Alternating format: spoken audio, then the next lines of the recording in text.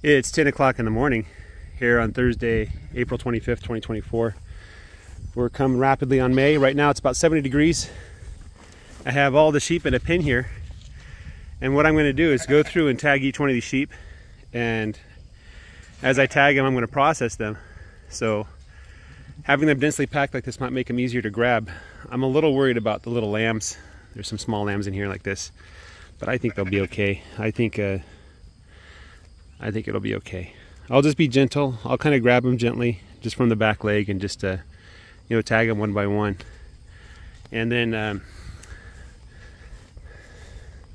I don't know that uh, I'm going to separate the sheep out at this time because I won't be able to sell them tomorrow. But certainly getting them tagged, getting them used to being processed, I think is the most important thing. Anyway, I did move the cows. I gave them like one and a half posts. Um, there is 14 posts basically in a row. So if I gave them two posts, that's half a day um, for a three and a half day rotation in the row. Um, the grass was grazed exactly like I wanted it. Not too much, not too little. And so everything's going well there. And uh, so hopefully I'll get this done today. Anyway, guys, have a great day. Take care and bye-bye.